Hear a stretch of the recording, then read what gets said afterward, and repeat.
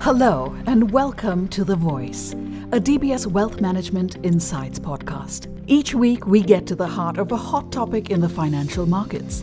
This week, our focus is on Singapore hospitality REITs, where we are beginning to see the first green shoots.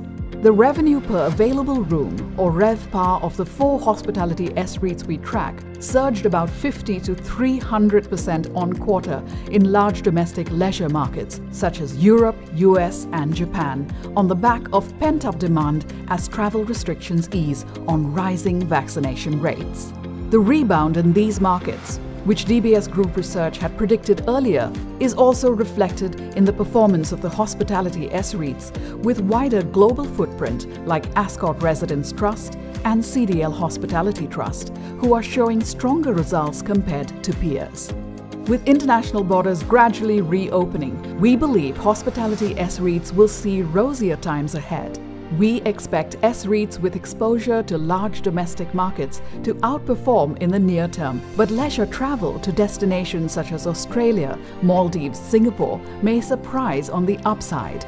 We are also seeing a return in corporate demand, fueling a possible recovery for REITs with serviced residence properties. As travel demand picks up, we expect hoteliers to start repricing their room rates higher, and given the income structures of the various REITs, any RevPAR growth should be a straight flow through to distributions.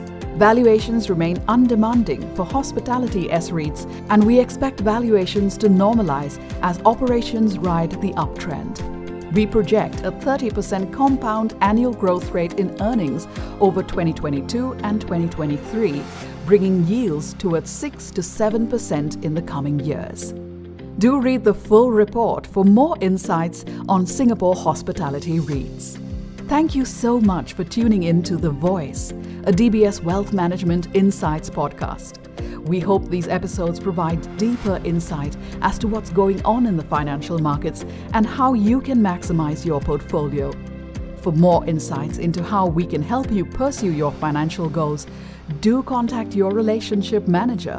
Thanks again for joining us, and we'll catch you again on another episode of The Voice.